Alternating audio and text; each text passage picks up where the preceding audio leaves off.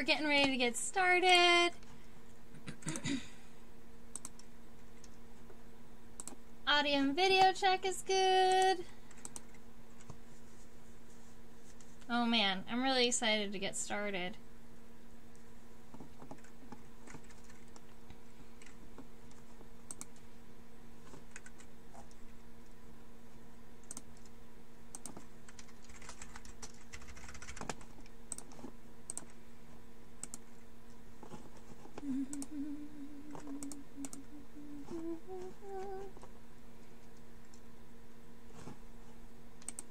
All right, I'm just waiting on a couple people to join us really quick before we really get started into the main part of our live stream today. We are sketching. I'm pretty excited. Um, over on the Facebook group, um, Yay! Perfect. Welcome, Amy. Um, over on the Facebook group, we had a little vote in the event to see kind of what orders we wanted to look at today. Um, we had three votes for bees, wasps, and ants, and two votes for beetles. So I figured we we could look at um, a couple of bees, wasps, and ants first, and maybe we would get to a blister beetle, which is really interesting because as immatures, they're parasitic on bees. So they kind of work together, and um, I figured that would be good for us. Um, so welcome, Amy, and the rest of everybody. Uh, feel free to keep the chat box open and um, running. If you have any questions or comments, go ahead and throw them in there.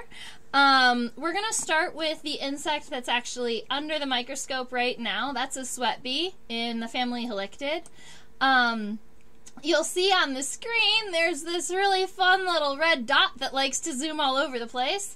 That's my pointer dot. I um, do have full control over it every although it likes to bounce around next to me.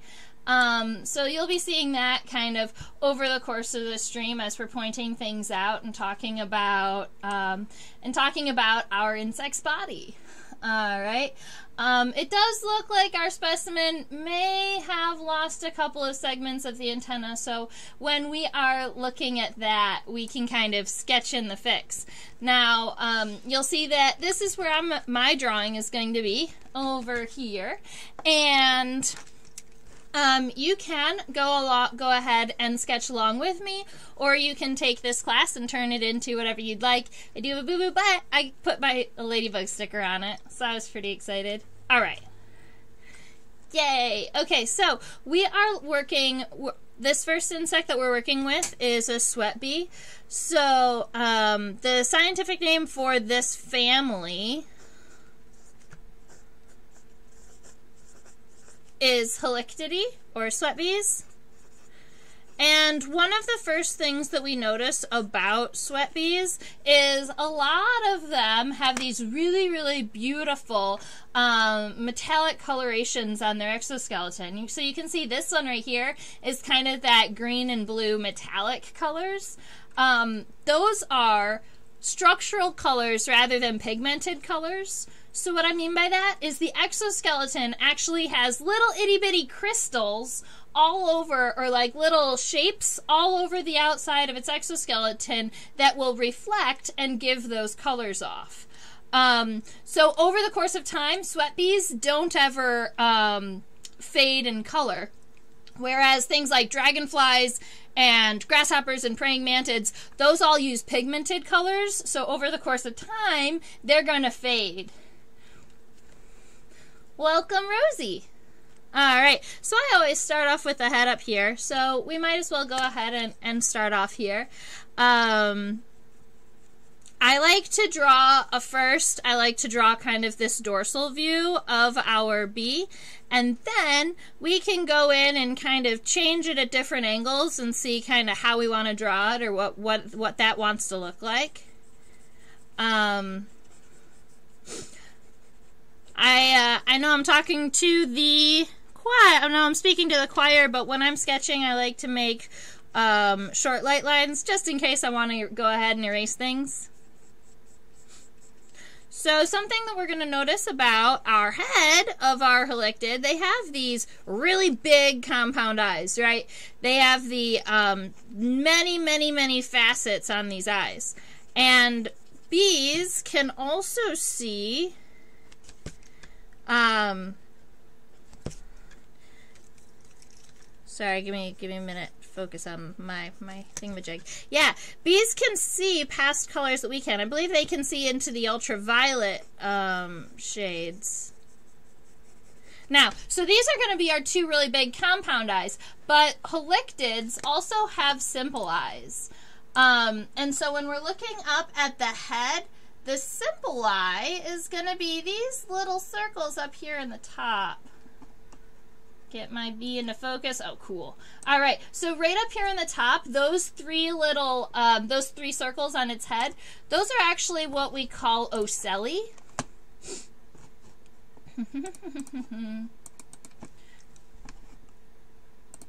Come on. There we go. All right. So these three up here in the top.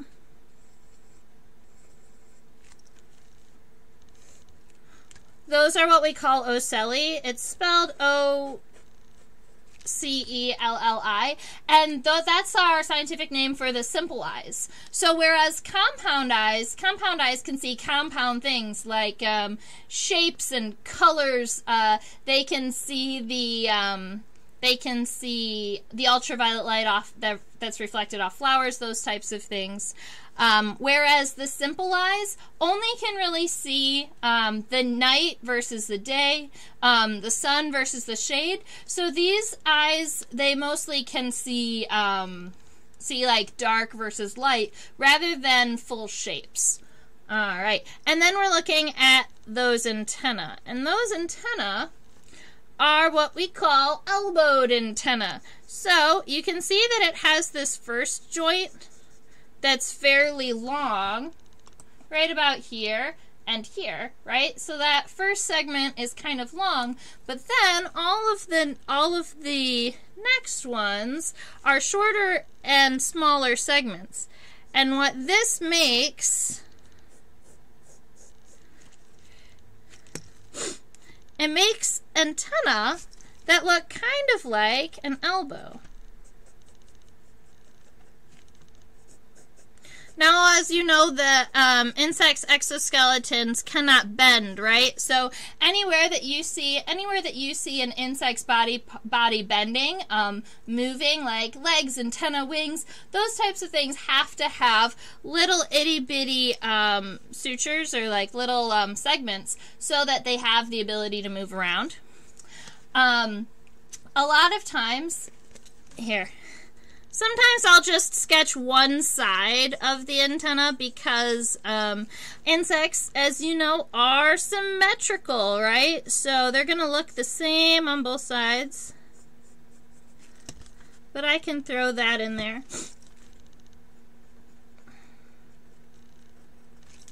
All right, so I've got my I've got my head, and then we're moving back to the thorax. Now, um, the thorax can be divided into three, um, into thirds. And then insects are going to have six legs, right? So the first pair of legs is on the first third, the second pair of legs on the second, and the third on the third, right? So our thorax. All right. Many thoraxes are are like uh, kind of square shaped, and that's because of the way that the muscles kind of have to connect onto the body. This one, he's got lots of rounded edges, and um, that kind of blurry spot in the middle of his body that you see, um, that is actually the pin. A lot of times um, they tell you not to put the pin through the center of the insect. You want it kind of off to the right, just in case there's any characters on the center line. Um, looks like when I was pinning this guy, I got it pretty well in the center, huh? Alright. So what I'm doing is I'm coming through and looking at these individual segments, right? There's a line that comes through here, a line that comes through here. You see, and they work their way down.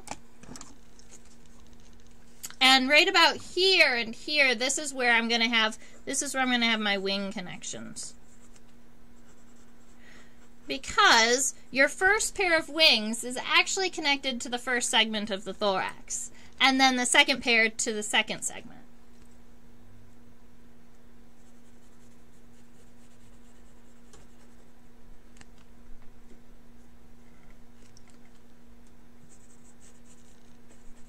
All right.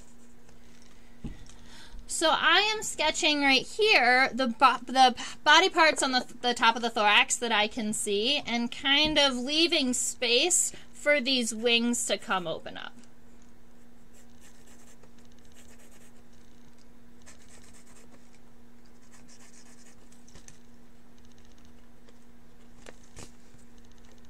Very good.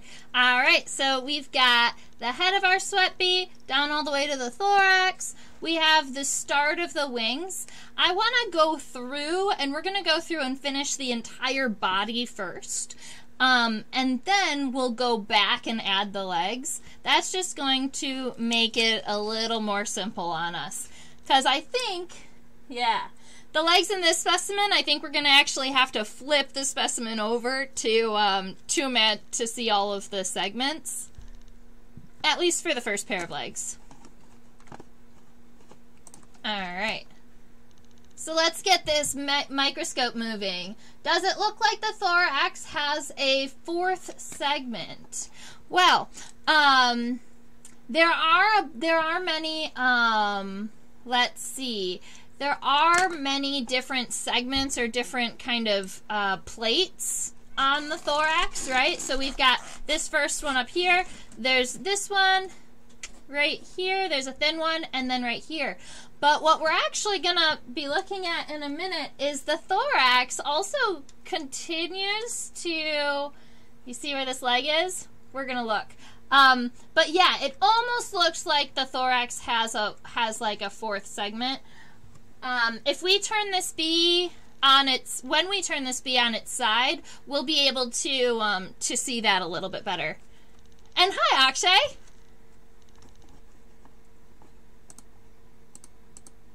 All right, let's see. Actually, we can turn it on its side just so that we can look at that really quick.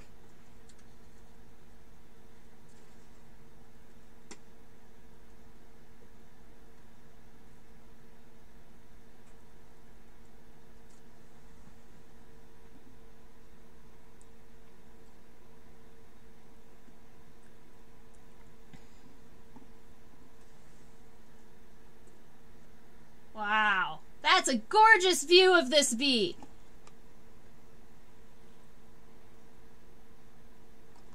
All right, so you can see that there's this little bit of a gap between the first pair of legs is kind of up here in the front, and then there's this gap between the first and second pair. And then the second pair and the third pair are back here. And yes, the thorax does end right about here. Sometimes, every now and again, you'll have um, you'll have an extra segment that's actually the thorax that looks like it's on the abdomen, but it doesn't look like this bee has that. So that's good. All right. So what I'm trying to say is yes, it's broken up into a variety of it's broken up into a variety of plates. Um, and then the legs are going to be connecting the front and then back here. And we talked a little bit about this um, last week where we know that the first pair of legs on insects a lot of times faces forward, whereas the second and the third pair of legs go backward. Um, and that just helps with stability. Um, six is the magic number for insect legs uh, because they have the ability to walk on two tripods. And tripods are triangular, right? They're super, super strong structure. That's what gives um, insects the ability, uh, so much stability with six legs. It's because they always walk on two tripods. So I want to get our dorsal view done.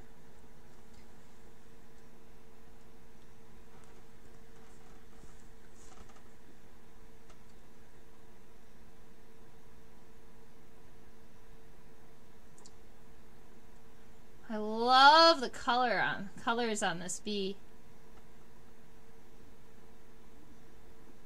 All right, so there are two things that we are looking at with this specimen. We're looking at both the abdomen and the wings. Um, now, with my sketch, what I'm going to do is I'm just going to sketch. With my sketch, what I'm going to do is I'm going to sketch the left wing and then the right side of the abdomen. Um, that's going to give everybody the ability uh, that's going to give the ability, everybody the ability to kind of see both sides of the insect. All right. So I'm going to start. Let's see. Comes down. All right. And I'm starting with the abdomen. Now we've got this little. Let's see. Doop, doop, doop, doop, doop, doop, doop, doop, doop. All right. Finish off the thorax. Give yourself an abdomen. And the abdomen looks like it does not protrude further than the shoulders.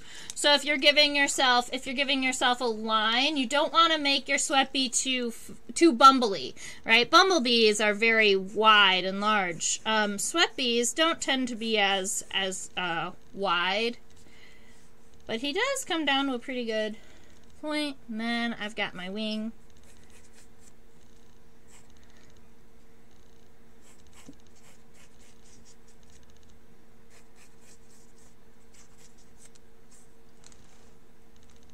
I'm just trying to imagine what this looks like.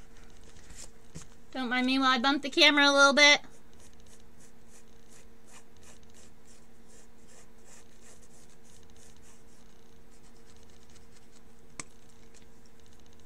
All right, so we've got we've got a wing and we've got an abdomen.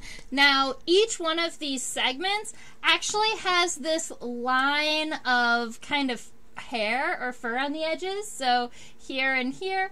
Um, I'm going to I'm going to flip this specimen over really quick so we can count how many segments are on the abdomen so we know how many to give it.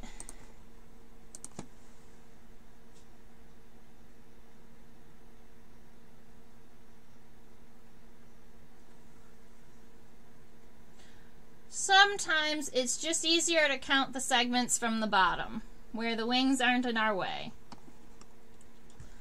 Let's flatten that out a little bit.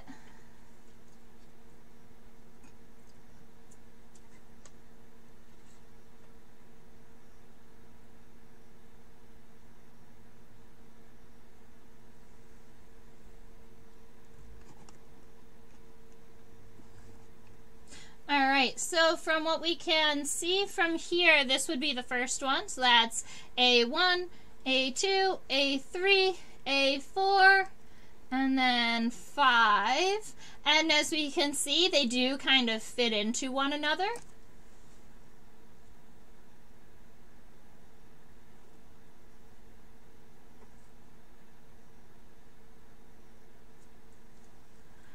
So we are looking at giving our sweat bee, our halictid, five segments. And the first three look like they are fairly large and pronounced, whereas the next two are kind of shorter. So I'm going to go in right about here. And here.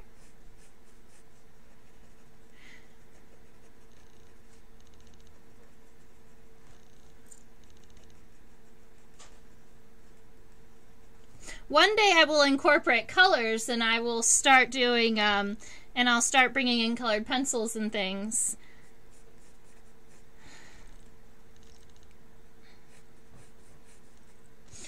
So our first segment would actually be end right about here.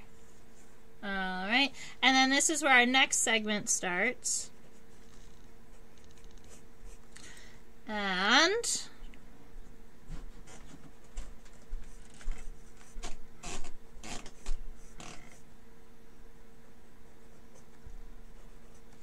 I always like to give almost these little angles at each one of the um, at each one of the segments just to kind of um, show that it's kind of tucking in one after another. And I'm using these um, lighter strokes to show the uh, to show kind of the hair, how fluffy they are. Sweat bees are pretty fluffy. Now, sweat bees do have the ability to sting. Um, and if you want to talk about the pain index, it's kind of fun. I think sweat bees have like a one or, or a one and a half. So sweat bees don't really hurt at all to get stung by.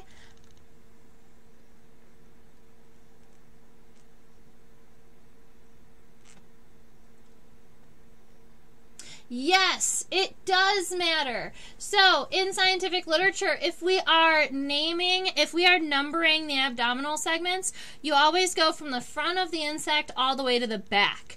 So, this segment right here is A1, and then we call this A2, A3, A4, and A5. And so we always start from the thorax side. And if you wanted to do the thorax, if there are three very distinct segments, you can say T1, T2, and T3. Um, and this guy, there were so many plates up here that it would almost be kind of difficult to do that. Um, I'm sure that entomologists have named all of those plates. I'm just not sure what they are. Um, there's some really cool quote, and I'm not sure who it's by, but it's along the lines of no one person can be considered an entomologist. The the study is just so vast that not no one person can know it all. Um, and that's something that I kind of love. It's also one really cool thing about entomology is there's always more to learn. All right, so I am looking at this wing, and we're going to talk a little bit about wing venation. All right, um, so when we're talking about wing venation, this vein right here, that's the leading edge, this is the costa. And it's also the strongest vein. Um, this it's going to be the strongest vein in the in the whole wing because we can see right about here. It's very very thick right? And then we get to this area right here. That's kind of this expanded area of the costa. That little spot right there, that's what we call the stigma. All right. And then we have a number of uh, we have a number of cells in our wings. Um, the first cell that you can see off of the um, off of the stigma comes out in this direction.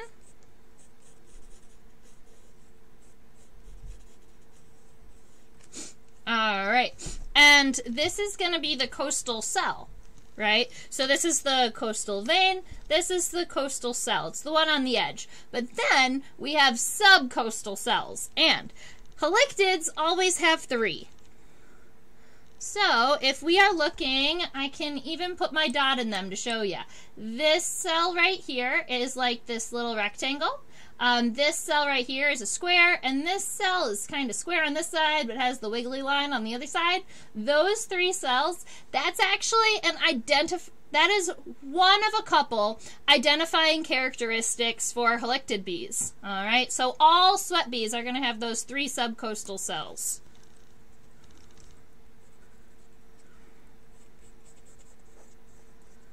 So something like it comes up and it hits right about in there. One. So wing venations are really interesting because a lot of other characteristics with insects, um, colors and dot patterning and shapes. Um, what is the scale of the sweat bee? Good question. Let me get my my ruler was right here um, two moments ago.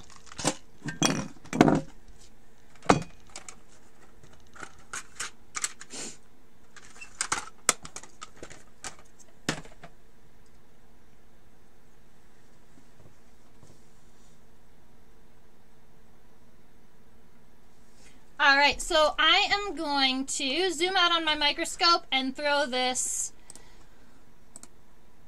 ruler next to it.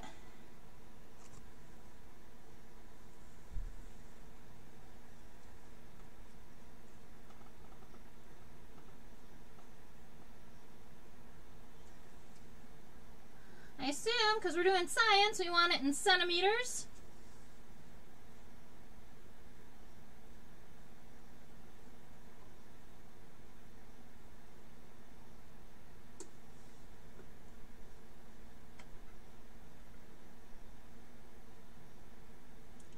So, from about head to abdomen, it's almost exactly one centimeter. You might go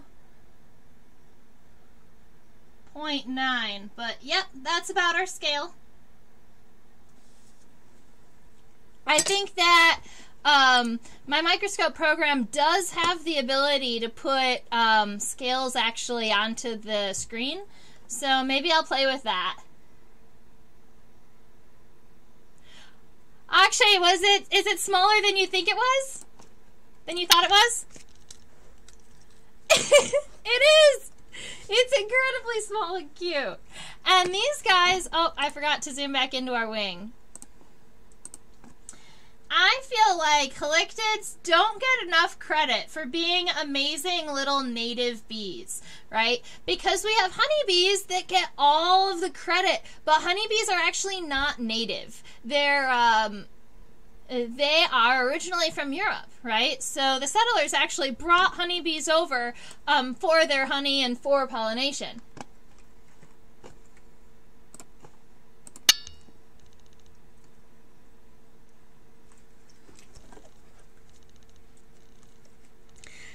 I'm seeing out there that it's a lot smaller than people thought. So yeah, and and when we're looking at these guys when they're flying around, um, they can almost seem like well that's a small little bee you know you could almost brush them off and then you you stop and you look at them and you're like these guys they're absolutely gorgeous um, if you have an interest in all types of insect wing venation i'd like to suggest a website called drawwing.org. They have um, wing venations from all different types of insects.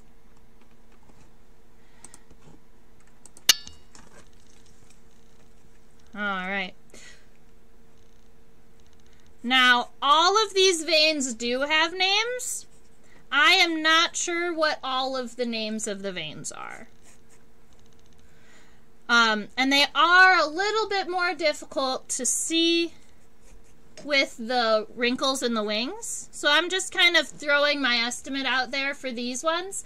Um, these ones are also not characteristic, at least a family level, um, in that um, the rest of these veins, they're not going to tell us more about our bee unless we are trying to, unless we're looking for um, uh, deeper characterization.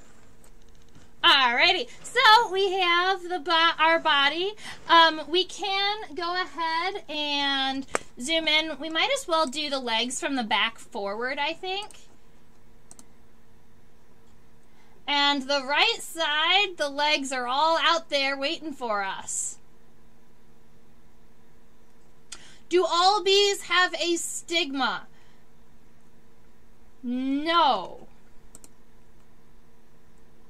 No. Um, not all bees have a stigma on their vein, on their wings. Um,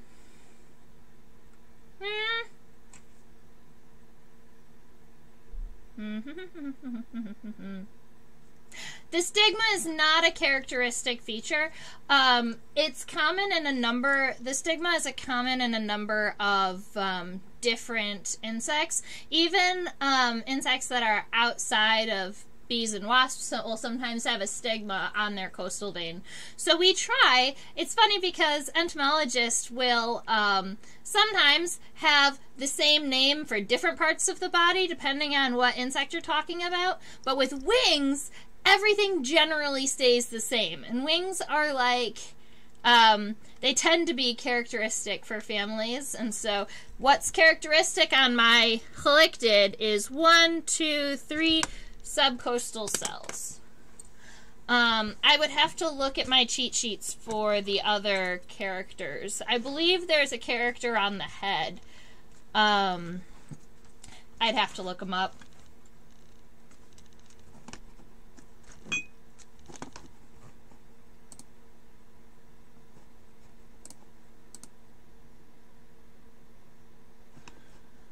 Um, alrighty, so insect legs, very similar to human legs. We talked a little bit about them last week. We have a femur, the first segment, the tibia, the second segment, and then the tarsals or the tarsi, and these are the segments at the very, very end of our legs.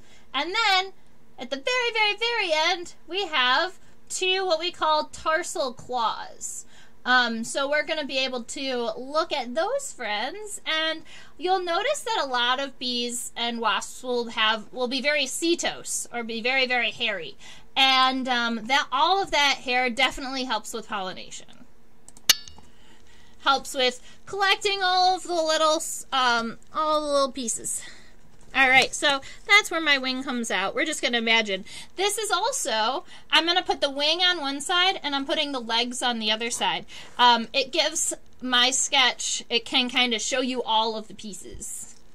Um, so, I'm going in for this femur and we're looking at where it connects, the very, very end of the thorax. Um, and then this tibia almost looks like it has, uh, this tibia almost looks like it has this curve in it, which is really interesting. You won't really see that super regularly. A lot of times they're kind of straight.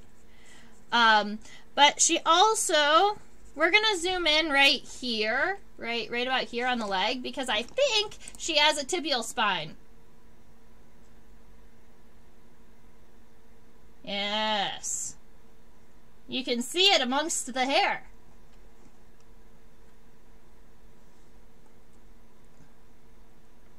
If we really, really zoom into this little itty bitty bee, we can see right about here, right about here, we have a tibial spine. Um, and this one is really cool because a lot of times the tibial spines are straight um, with just kind of one um, one point or two points, but this looks almost like a comb. It has this piece, this piece, and this piece.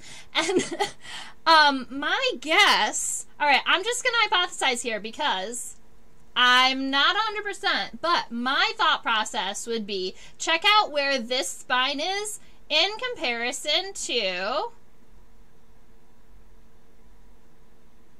in comparison to its body I think that that's a cleaning spine. It looks like a little comb, and um, she's got so much hair on the abdomen that I think she's going to be using that spine to kind of help rub that leg against her abdomen and help clean herself off. Yeah, if there's an evolutionary reason for the spine. Um, that's my guess, is that that spine is used to clean off her abdomen. Um, there are a number of different insects that have tibial spines.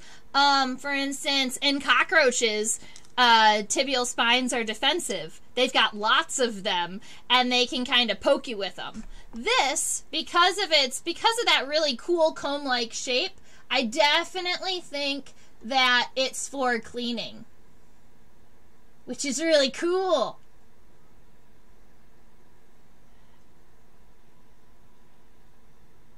All right.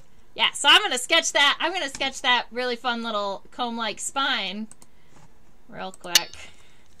Um, and it's so small that on a sketch like this, your sketch has to be kind of huge for it to even kind of show up. But I'm just going to put um, something like comb-like spine.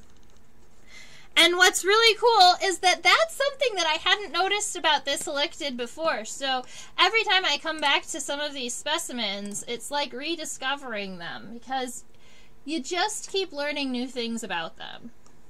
All right, now we've got a number of segments here. This tibial spine marks the end of the tibia. All right, then we're moving into the tarsi.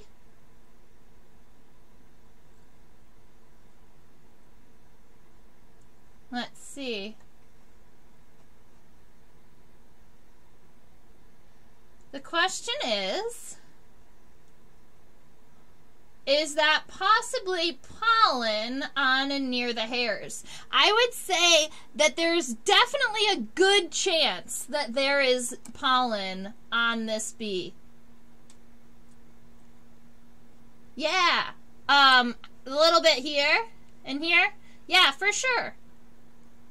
This is where they would also be collecting it because if they got pollen all over their abdomen, they would be able to use this comb to kind of comb it and hold on to it with their legs, right? And really, right in like this area too, it looks like there is some.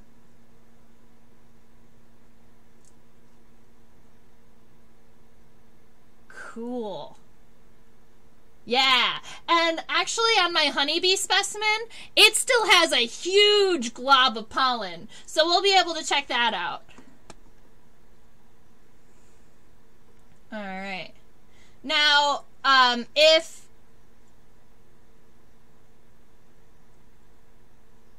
if this up here is the end of my tibia, and then we're starting our tarsi. This right here is going to be our first segment. It's like, uh, it's this long rectangle shape.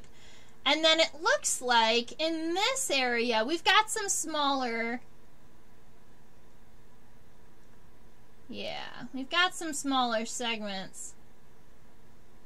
Let me get this focus right. Her leg's just bent at a weird angle. Let me see. I'll sketch it out for you.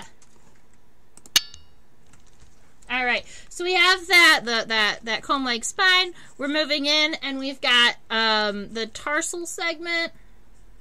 That's kind of this boxy shape, and then we have two more segments that are getting smaller and smaller. Alrighty, and then this next one kind of increases in size a little bit and is roundy at the end, and it's gonna have these two spine, these two little claws, and those little claws are called tarsal claws. And many, many, if not all insects are going to have little tarsal claws. So those are something that we can see over and over again. Um, the number of tarsal segments is sometimes characteristic for families, um, not with sweat bees. Alrighty. And looking at the I wonder so now the question now the question is does the middle leg also have a tibial spine or is it just on the hind leg? Let's get my dot out of the way.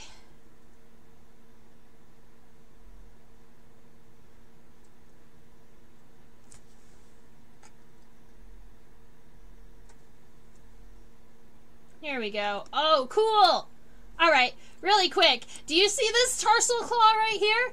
The tarsal claw on these guys isn't just bifid. It looks like it's it's like there's four points on it. So there's um, on my tarsal claw, I have two points on the left side and two points on the right side. That's cool. That's unique. I like seeing unique things on my insects. And then moving on up. All right, so we've got the femur. We have this tibia that's also a little roundy like the last one. It looks like we do not have a tibial spine this time, guys. So we might be right. We might know that that comb is used for the abdomen because my middle leg doesn't have it. And then we're going into this segment for the tarsi, these two little itty bitty pieces, and then our claw with four points. Let me get this sketched out.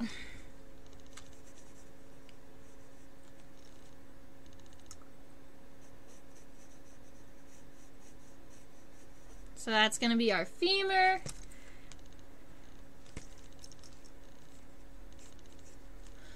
And then we have our tarsi, or our, our tibia.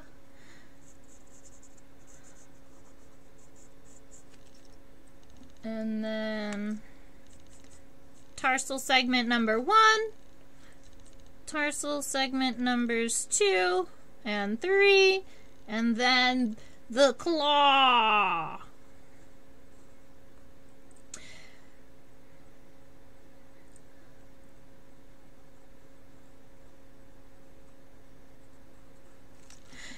Um, and this is such, and this is so small that I might even just make a little circle here and Honestly, I like this tarsal claw, so I'm going to blow it up a little bit.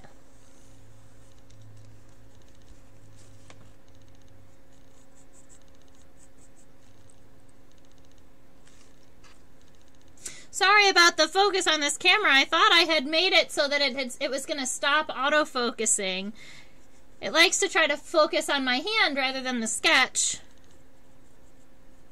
Has it been disturbing anybody's sketches? The autofocus on my camera? I'm curious.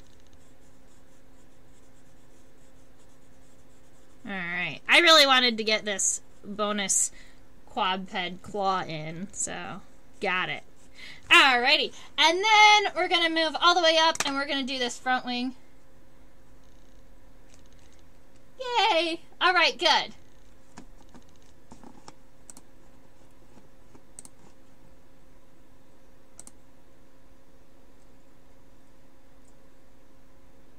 Alright, now you can see that the my front pair of legs, they're both tucked up underneath my body.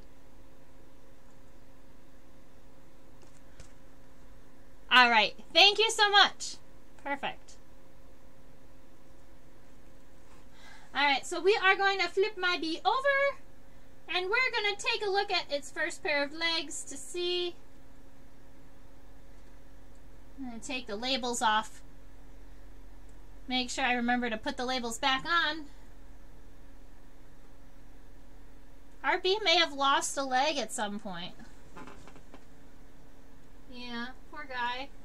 Alright.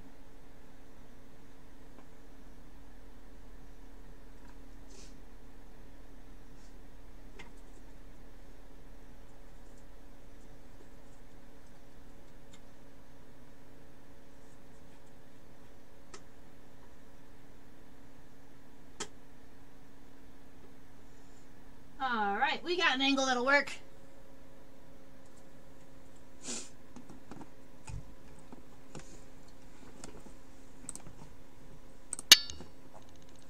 Good, good, good. All right, I'm happy that the that the focus isn't a problem. We're doing good. All right, so we've got that second and third pair of legs. Our first pair of legs is connected way up here. Um, so you can see there's this kind of vast. Maybe I'm gonna.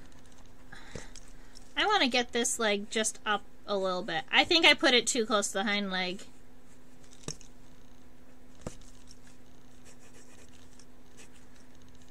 All right.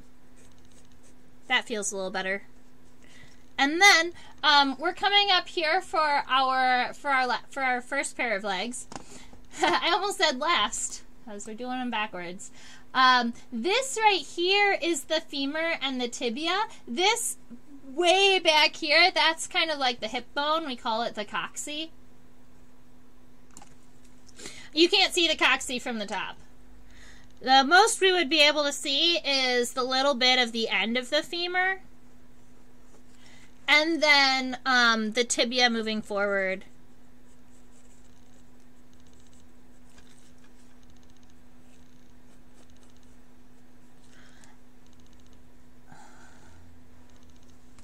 And then little tarsi. So it looks like this segment right here is fairly long, and I'm going to say that the first pair of legs is probably very similar to the second and the third, where it's got um, one kind of square tarsal segment, two triangular ones, and then the claw. Coxa femur, or femur tibia, tarsi number one, triangle, triangle,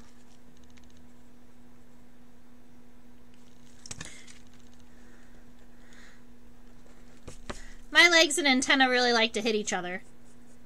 There we go. One.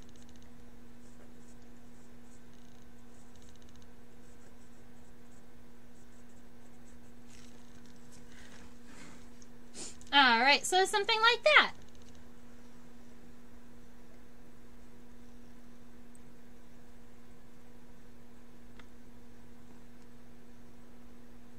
Yes all of the legs have hip-like connections. Um, that allows definitely for this type of movement. Um, we can flip the bee over to look at some of those.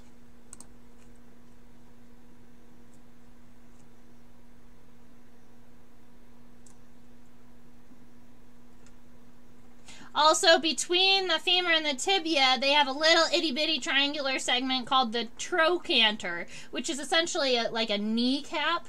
Um, but a lot of times the segment is so small that um, you have to really zoom in on it to find it. And sometimes it's even kind of like tucked a little bit.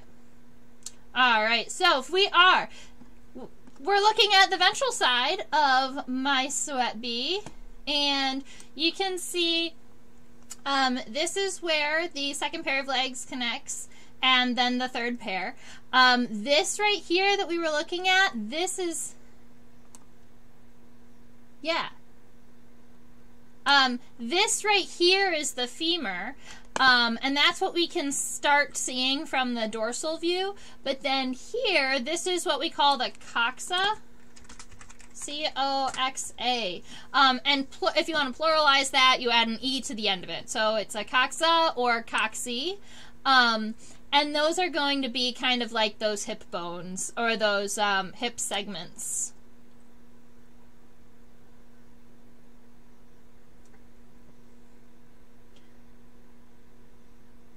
kind of just want to really quick check out some of these. This is cool. Uh, am I going to remember the terms for them?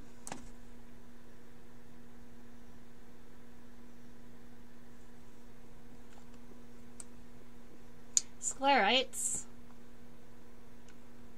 So each of so when you see a plate, a plate on an insect, those are sclerites.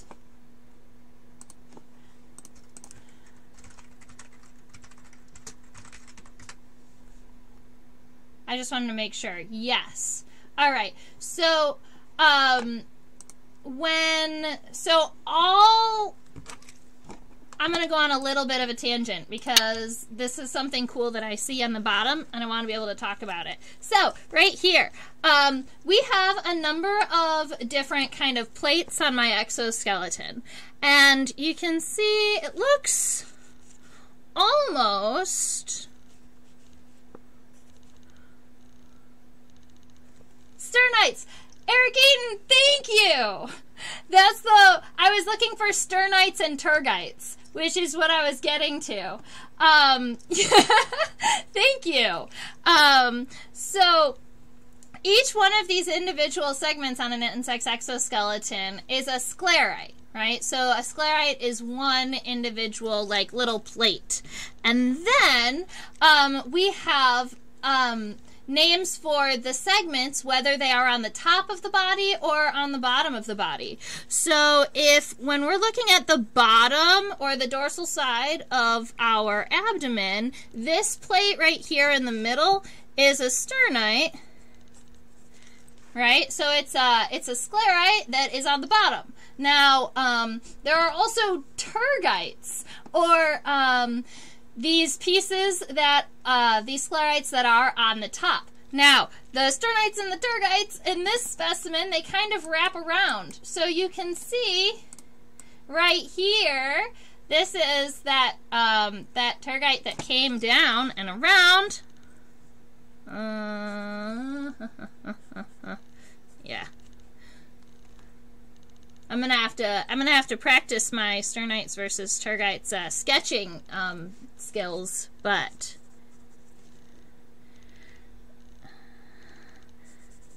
I'm happy that you were able to make it, Eric. Oh man.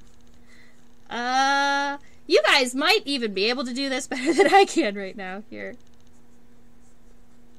Anyway, yeah, so we've got the sternites that are on the bottom and the tergites that are on the top, and these ones wrap around, and so you can kind of see how they match. Um, my sketch is a little poor. I'm going to have to fix that. But I got all excited and went all crazy like. Slevs are in the house. If anyone that doesn't know Eric Eaton, he's got, well, actually his book is over there on my shelf. So that's kind of exciting. All right. Um, now we've got we've got our halictid. Now I'm thinking we could sketch the ventral side of our insect or so we've got a couple of we have a couple of different options. Um, I did bring. I brought other Hymenops. I brought a honeybee. I brought um, an invasive leafcutter bee, the giant resin bee. Here, actually, I can show you this way. All right, so I brought um, I brought a honeybee. I brought a bald-faced hornet. Um, this is a giant resin bee. It's actually an invasive leafcutter bee, and this guy, he's a uh, he's a blister beetle, so he's a meloid. So he's not a bee, but beetles got the second number amount of votes for what we were gonna do, and blister beetles have this really cool interaction with um, with uh, with bees. They have a they have a parasitic reaction. Yes. So uh, interaction. I know there are too many of them. Um, but honestly, there are too many cool beetles. There are too many cool flies. There are. We could talk about hanging flies, the bittacids or whatever. They're, those guys are kind of crazy looking. Um, I do have uh, mantispids that we can get into and sketch. Um, I'm really excited to kind of dig in and see what we can draw. Um, so, my question to you is do we want to continue on my Halictid and look at another, um, and maybe look at it head on or look at it ventral side, or do we want to pick a new insect?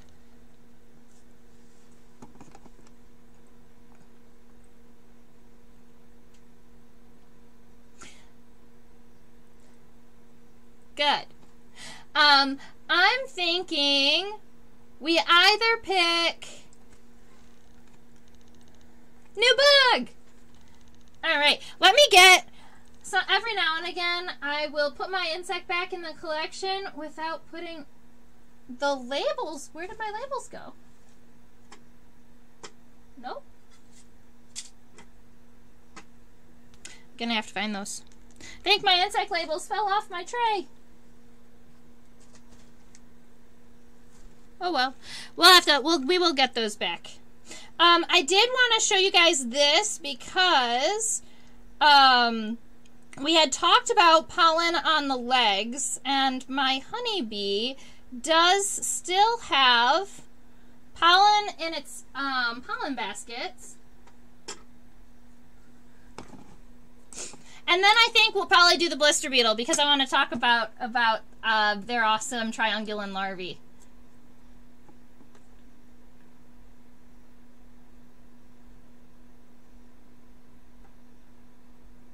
New bug. Haha, too fast. Hmm, new bee. New bug bee. New, bu- new bee.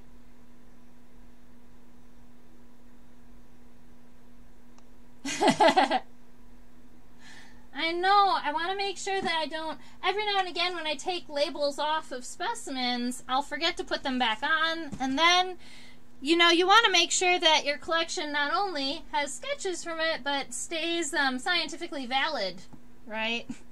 Um, so, uh, my hind leg on my honeybee, you can see right here, this is going to be um, this is going to be the hind leg, and it has lots of these long hairs, um, long hairs along it, and this is its, uh, this is its pollen basket. And right here, this is a whole bunch of pollen on my bee.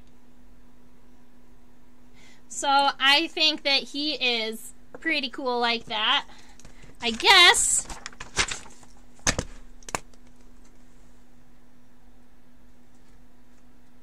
I think we can draw a honeybee. I really like looking at honeybees head on. So we're going to do that first, I think.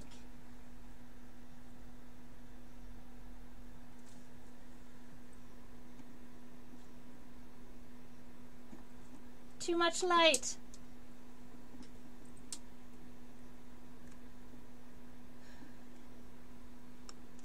All right. I really like looking at honeybees from head on for a couple of different reasons.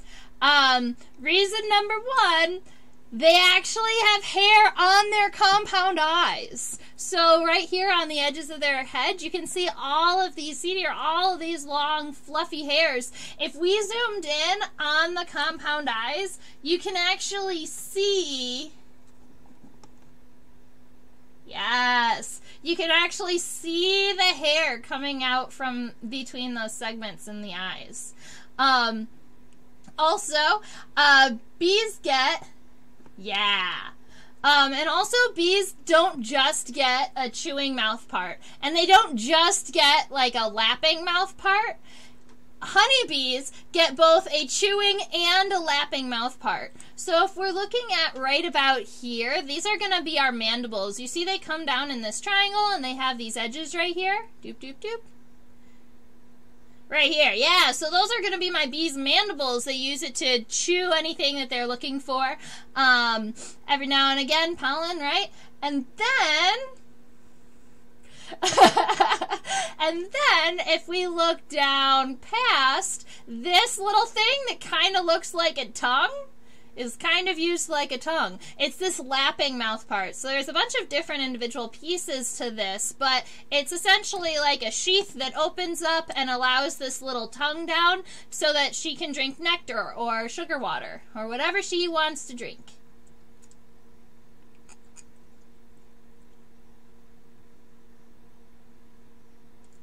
I now appreciate not having hairy eyes. I love that.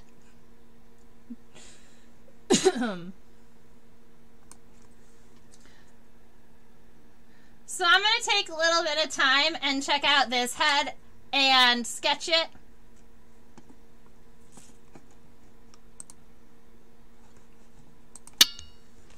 I'm starting on a new sheet of paper. We've got a new species. Um, this is what I had ended with my Halictid. and then moving forward, this is um, this is a honeybee. So obviously, um, its scientific name is Apis mellifera.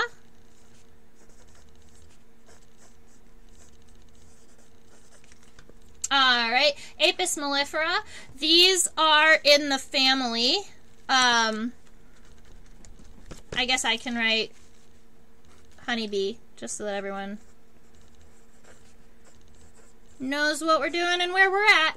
And um, these guys are in the family Apidae. Now, there are many, many, many, um, there are many different, different types of bees in this family, right? Can we get a scale in comparison to the sweat bee? Yes, we can.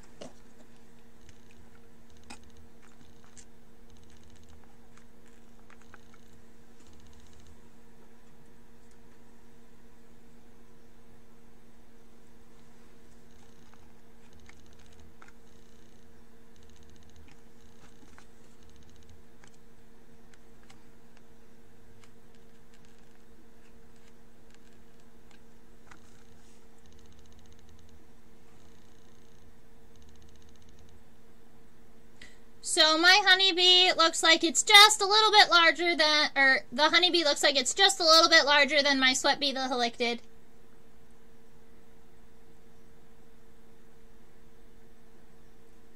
All right.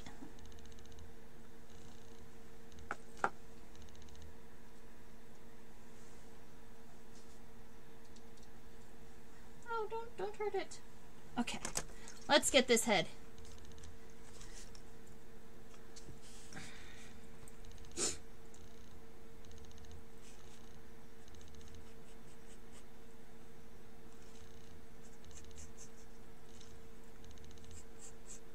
So I'm right here. I'm starting with the um, I'm starting with the the right compound eye. It's just the one that called to me first, so it's where I started.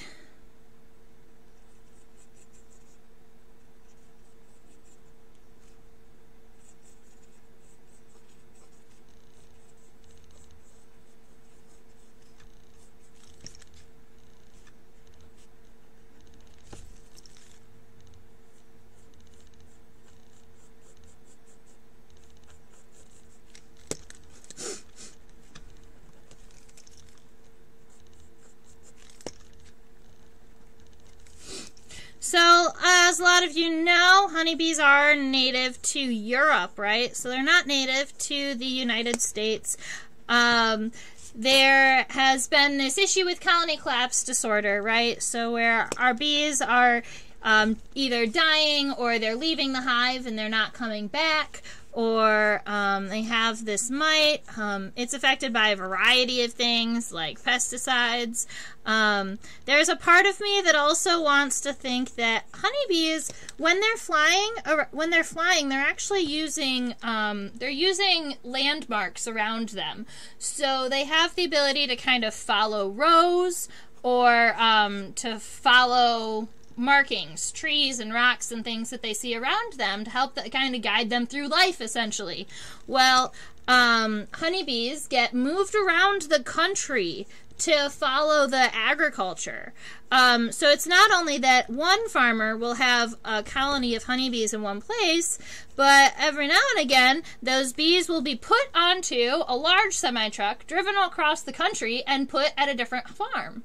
Um, so there's a part of me that wants to believe that there's also um, that maybe the bees are starting to get confused. I don't know if that's possible, but.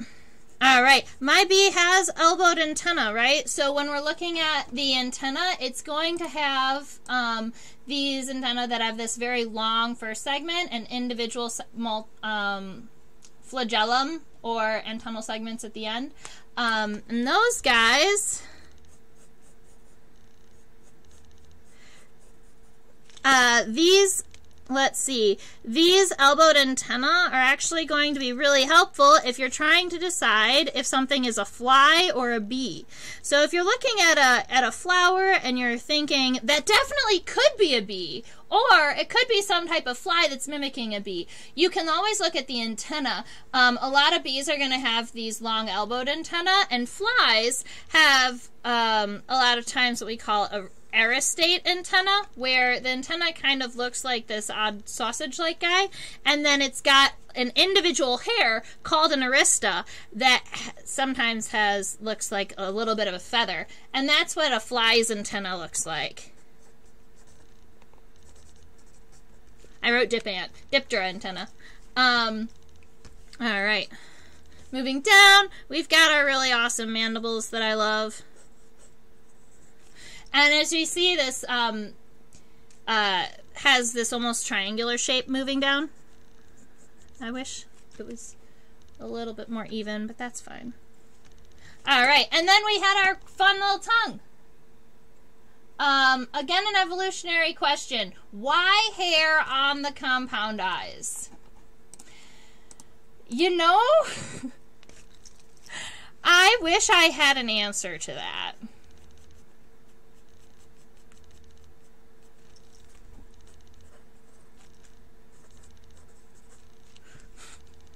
Um, I will write it down and then I'm going to see if I can find an answer to it because it's something that I have also wondered before. It's like, why? Um, hey, anybody out there in the any, anybody out there in the chat world know? Does anyone know why honeybees have hair on their eyes other than them just being super fluffy and awesome? I mean, they are generally covered in long hairs so that they can. Um... Questions without answers, yes. Um, generally, all of those hairs are for collecting pollen, and so that would be my guess. Um, keep in mind that this is actually some, it's like a, um, I want to say shaft. It's like a sheath. It's, this is like a sheath for the mouth parts on the inside. So you can see that there's this middle line right here. And um, I don't think we can zoom in any further. But it actually kind of opens up. And it's really... I think that there's a YouTube video out there that of um, a bee's mouth part really close up. And they dissect it. Um, and you get to kind of check out the pieces, which is kind of cool. All right. So we've got head on. We've got hairs on the eyeballs.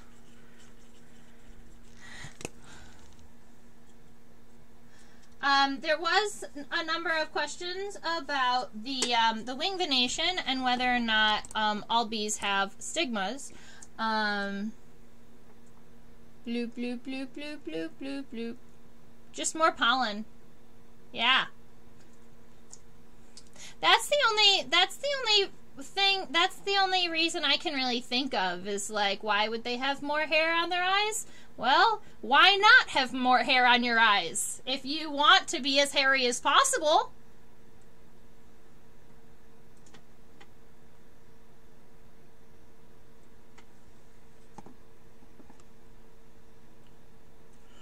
All right, so um, if we are looking at my, oh, the other thing that we can look at are the little, um, it's 11 o'clock. What are these? We'll look at them in a minute, and I'm sure the name will come to me. All right, so when we're looking at the um, the honeybee wing venation, we've got this long costal cell again, and we have um, three subcostal cells. So honeybees are also going to have those three. Um, if we look between the front and the hind wing, I want to show you this. Because I know that this specimen has a really good example of it. So some people don't realize so if you were talking to the layperson, right, and you asked them, how many wings does a bee have? Some of them will say four, which is the correct answer, and a number of them will just say two, right? Because when they're flying, it looks like both of their wings are connected. Well, um, my um, my um, bees have these guys down here, and they're little itty bitty hooks that help hold the hind hold the front wing to the hind wing.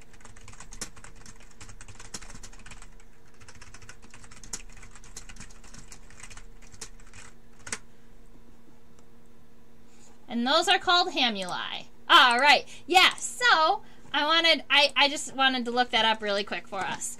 Um, if we're looking at the wings, so this is just a very, very zoomed in picture of where the front wing is going to meet the hind wing. So we can put FW and HW. And right here in the center, there are these little itty bitty hooks, and they're kind of like Velcro. And some of them on our hind wing actually aren't all the way connected. Um, but these guys right here, they actually have a name. Those are called hamuli. And there's all different types of um, of wing adaptations, but that's one of I think that's one of the cool ones because you can you can actively see it in the um, in the description or in the in the image. All right, so I think what we can do is we'll start our dorsal. We've kind of jumped around my honeybee a little bit, um, but I figured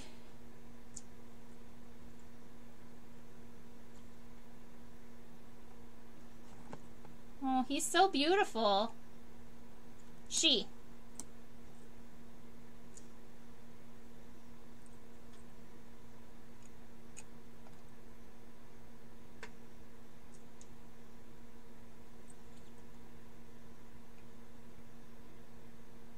Alright, so um, we have the ability to kind of start with the head and move back. I was just seeing how much of this we can That'll work. Um, you'll see this little fuzzy part right there. That's the pin, so we're not going to worry about that. Um, alrighty. We've got our head, um, where the head actually connects to the thorax. Um, it actually has a, a little bit of a little bit of a neck section before the thorax gets connected.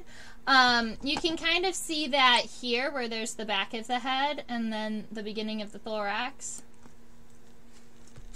Um,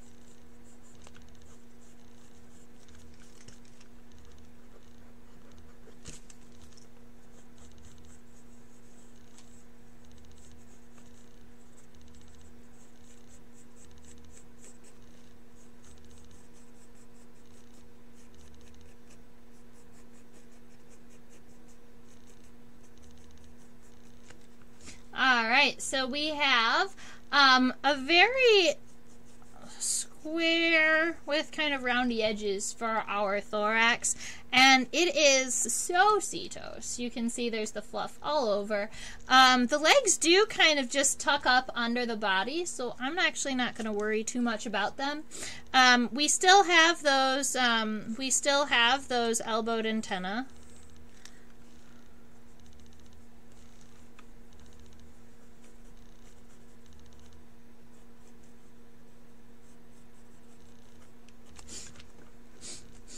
All right, and then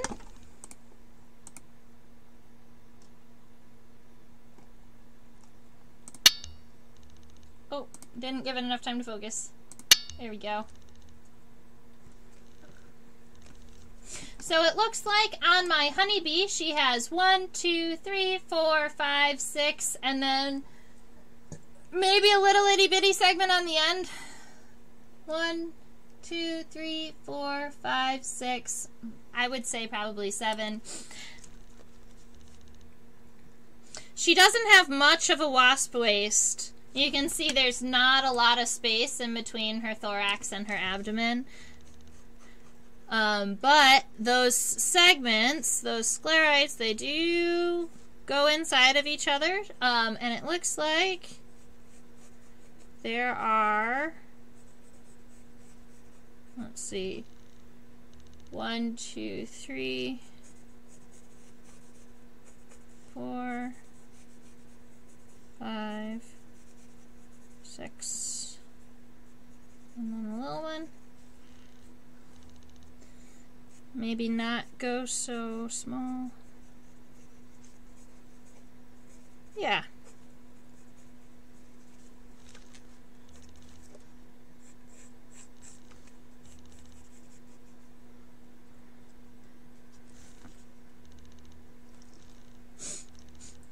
All right.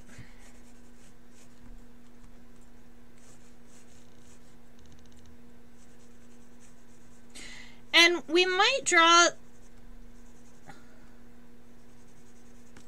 I'm to go in and shade these a little darker back here.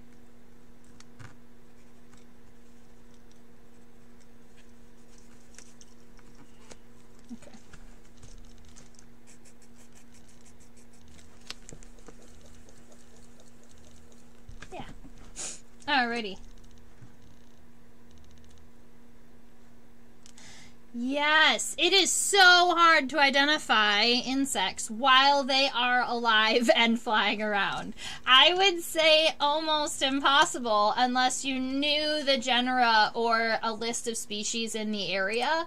Um, even trying to identify a bumblebee to species when we've got five or six different, um, it's really difficult while it's flying around all over the place. I would definitely say um, with with these guys, pictures really really helpful or if you're trying to observe a flower and identify things um, setting up a camera so that you can watch them fly through um, oh my goodness i actually I'm going to show you something really funny really quick. Um, I believe I have it right. Let's see. It would be in my bug badge class.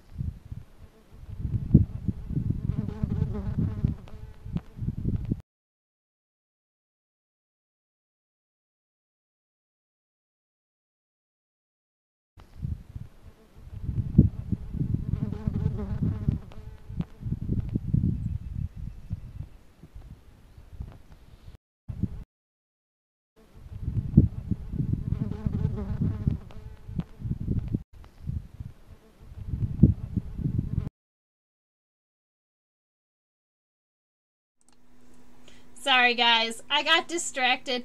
I uh, I didn't realize I didn't have my audio set up for that class yet. Sorry about that. Um, but I was trying to show you the uh, the bee that was getting ran into by the paper wasp. So we had a I had a cute little bumblebee that I was trying to video, and um, as I was videotaping it pollinating, a paper wasp came and actually flew into it and bumped it while I was recording. And you can see him try to kind of steady himself, and he looks up like. What was that other guy doing? And it just made me laugh because, you know, you never know what you're going to catch on film if you're recording the buggies.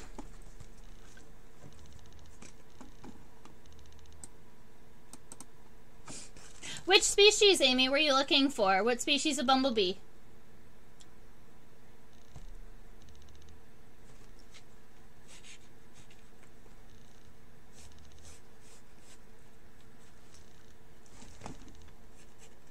Were you looking for the rusty patch?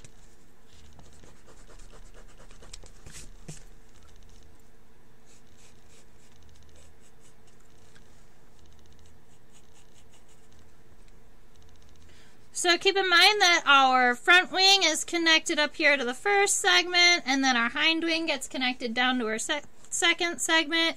They do kind of follow this same angle.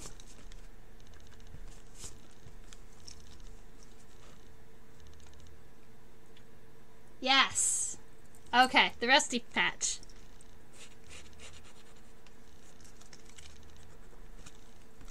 Do you know how they're doing? I haven't really heard much about them recently.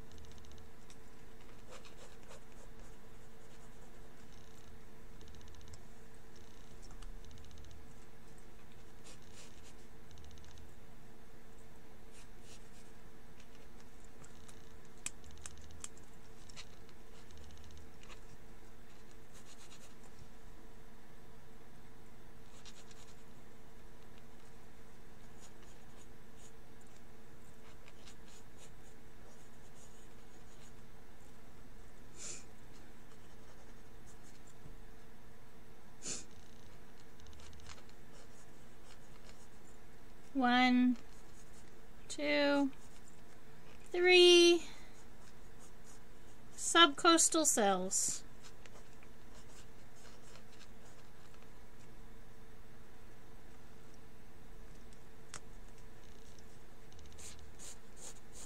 And then the hamuli.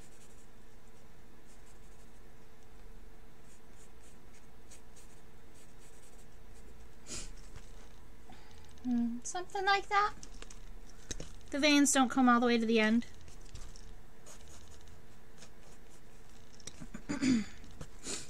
yep, yep, yep. And if I wanted to, I could throw in I could throw in a hind leg.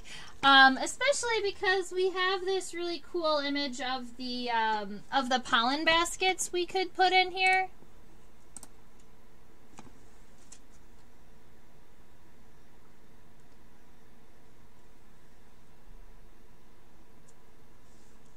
Yeah, so if we are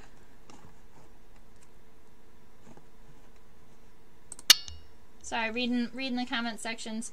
Um, what are characteristic veins in the honeybee? You guys are testing my knowledge, and I love it. I do know, uh, I, I know that this honeybee also has these three subcostal cells, like our halictid does, um, having all of these characteristics memorized. I'm going to work on that. um, I can't think of any other really characteristic on here.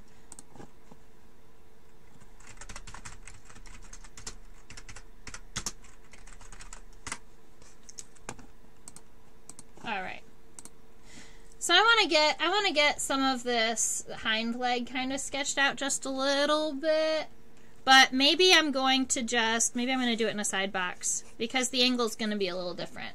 So, um I'm going to take it from the back, I think. Cuz I want to show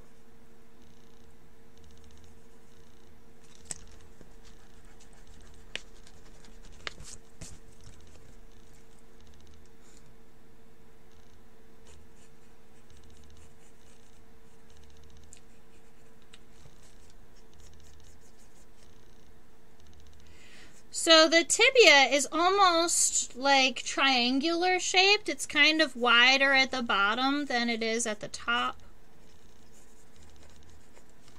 And um, this is where the pollen basket is, and that is all of these long hairs. We call that the pollen basket because it's where all of the pollen sticks. And you can end up with this huge glob of pollen like we have on this specimen right here. So this right here and that right there, both of those are just huge globs of pollen. Um, and uh, you can actually take the um, the old pollen as long as um, you can take the pollen off of the legs and run genetics on it and see what type of flowers this honeybee was pollinating, which is kind of cool.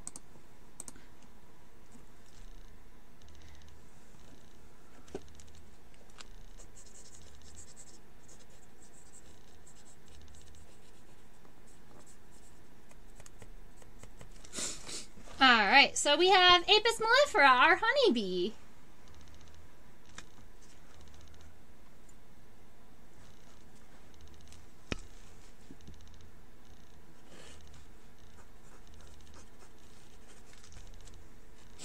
All right, we have been going at this for about an hour and a half now. I am really, really proud of us.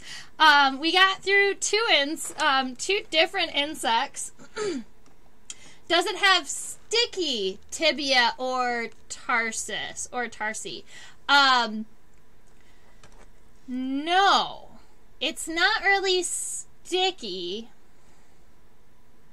Um, it's not really sticky. It's just those hairs.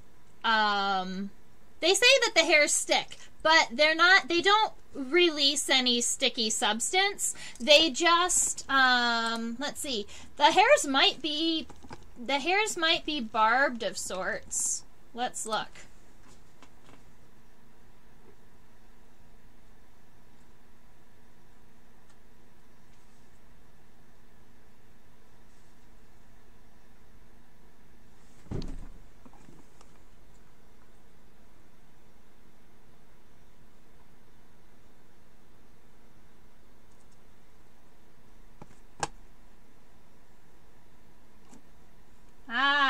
There you go. So, um, they're not sticky, but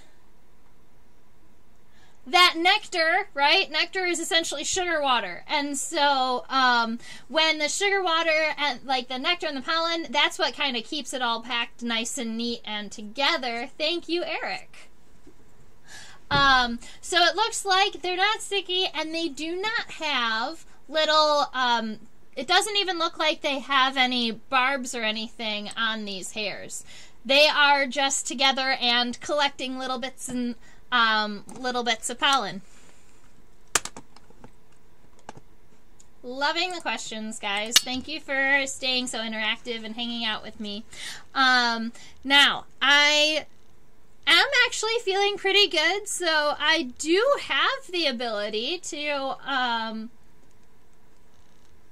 is it in a sack? No. Um, the this um, this pollen isn't in any type of sack. It is just um, it's just hard packed together. pollen pants. I've never heard that before. I like it. I like giving insect body parts, you know, a little bit more common names, you know, a little bit more relaxed names. Um, if we're talking about some beetles, actually, we'll probably look at some um, beetle mouth parts uh, at some point, if not in this class. Um, and they have labial palps, and I like to call them mouth fingers. It's not the scientific name for them, but it gives you the idea of what they are.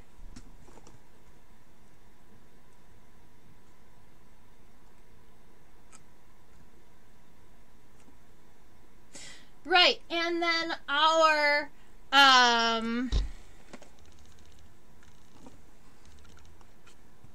leaf cutter bees, um, those, and then those brushes of hairs that collect the quote unquote dry pollen, those um, are called scopa. So if we look, this is a uh, this is a giant resin bee. It's a megachilid, so it's um, called a leaf cutter bee. And you can tell that these when these ones are when these are ladies because they have really really thick hairs on the bottom side of their abdomen.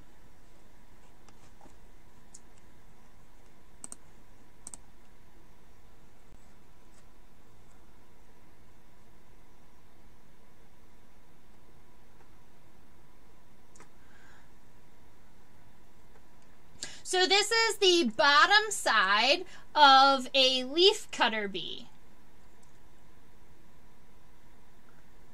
And she hadn't collected much pollen when I when I collected her, but you can see all of these very long hairs. And I know she's not native, but she is a solitary bee, right? Megachilids, they don't make um, they don't make huge nests. They take care of individual young. These guys, um, they benefit from bee hotels. If you've ever made a bee hotel and put that in your backyard, um, and these long hairs on the bottom side of the abdomen together will help them collect lots and lots of pollen. And they're a little more difficult to see on the darker side of its abdomen, but they are here too. And when these bees are flying around and actively pollinating, the entire bottom side of their abdomen can be completely yellow and be completely full of pollen. Um, so that is one kind of cool characteristic of these guys. And that um, patch of long hairs is called a scopa. And instead of me writing it, I put it in the chat box so that you guys can use that if you'd like. Now, um, we're going to do um, a, a little story time before we get off because I want to tell you a little bit about how blister beetles interact with some bees. Now, um, I will preemptively say this that um, all right, this blister beetle right here is Epicauta vittata. It's the striped blister beetle. Um, collected it in looks like Kentucky. All right, um, but if we look at so so we've got so we've got this one blister beetle. Now blister beetles are cool for a couple of reasons, but they have they undergo something that we call hypermetamorphosis. So um, they start off as a little itty bitty egg, and then once the egg hatches, instead of going into like a grub shaped larva, they go into this larva that's mobile. And it has long antenna and walking legs and these two little cute little tails. And this is what's called a triungulin larva. And this guy, he's really, really good at walking around and staying very mobile. And it's only the first instar, the very, very first life stage. Now, these triungulin grubs will climb in groups to the top of a flower and they will actually release the pheromones of uh, a female of certain species of female bees um, looking to mate right so these guys are, are hanging out they're hanging out on top of a flower and they're saying hey hey boy bees I smell like a lady, right? And you should come down and mate with me. And so if um, a male um, if a male bee comes down and lands on this flower to pollinate or looking to mate, these triungulin larvae will actually crawl onto the bee. And because the bees have so much fluff and so much hair, they can easily hold on. And there are images out there of these triungulin larvae in the um, in the hundreds, right? Lots and lots of them because they are incredibly, incredibly small. Very, very, very small. Um, so you can have lots and lots of them on a single male bee. And then that male, he'll go and he'll try, he'll go and mate with a queen. Um, or another he'll he'll mate with the lady, and then the triangulin will during the mating process go from the males to the females. And then they will follow the females all the way back to their homes. And so we have this triangulin larva that once it gets back to the home, it is eating baby bees. It's going to be eating the bees' eggs, it's going to be eating the bee grubs, and it'll feed on any of the food that was there for the babies, um, whether that's honey or um, other substances. The crazy thing is that once it makes it once it makes it to a colony, to a to a home that it can live with, this grub turns into we call it a C-shaped grub. But he just kind of turns into this like large grubby mass. He no longer has active legs. He doesn't go very far. Um, and then he turns into his pupa, and he actually is going to pupate inside of one of the combs.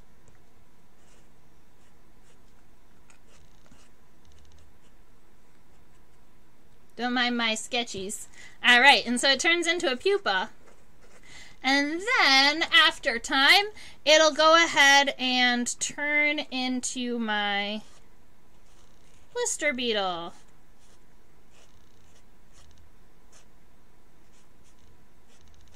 You know. Yeah, so that's a little bit about these guys' life cycle and how they relate and how they relate to bees. Okay? Um, something that I love about this crazy life cycle is it's called hypermetamorphosis. Because instead, instead of just being egg, larvae, pupae, adult, they actually have five. They go from, they have two different forms of immature stages. And that's why we call that hypermetamorphosis.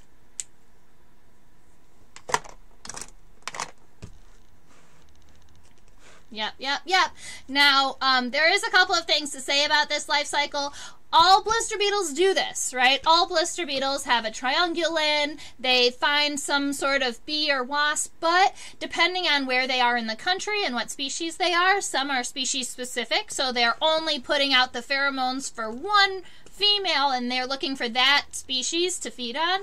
Um, some uh, some others they'll just kind of hang out on the top of flowers and wait, and they're not as species specific. So it just depends on where in the country you are and what the what are your blister beetles are trying to eat, or who your blister beetles are trying to eat. All right. Um, I am thinking we are closing in on the end. Um, how is everybody feeling? I love that. I am I am feeling a little tired, which is why I moved over into markering, but um, we can chat about bugs if we have lots of people that are still hanging out. Of grasshopper eggs, too. Do they have, um, do they have the same tri- I wonder if they have the same triangulin larvae that, um,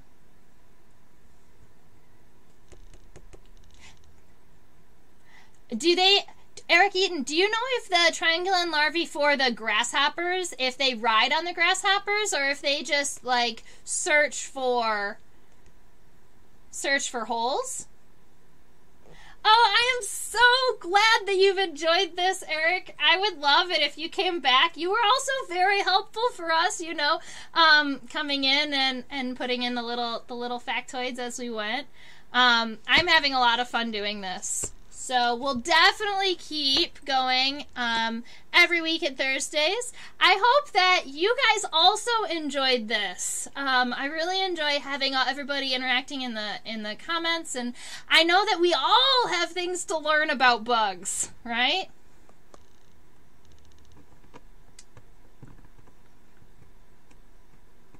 Yeah. I'd have to go check on other blister beetle life cycles. Oh no! I love that. Let's not try and confuse all of the third graders. Um, we can. Perfect. All right, so everyone is feeling pretty content. I'm feeling pretty happy. I think we got um, through a lot of what we wanted to. I hope that my face is not frozen like that. Um, my face is frozen on my screen. Oh no. All right. Thank you so much. If you and if you enjoyed this, go ahead and subscribe to my channel just so that you can get um, updates when I post um, when I post new videos. Um, if you really uh, if you super super enjoyed this, come back next week. And I also teach Outschool classes. So I teach classes for students. Um, so 6 to 9 and 9 to 12. Sorry, my camera just went out. It's saying it's time. All right, so I teach classes for students um, 9 to 12, 13 to 17. So if you know somebody who would love to illustrate a little bit with me or study an insect every week, um, this week we're doing ladybugs, so that's been a lot of fun. Um, go ahead and get them hooked up with me. Uh, thank you so much for hanging out, and I look forward to seeing you everybody next week. All right. Bye, guys.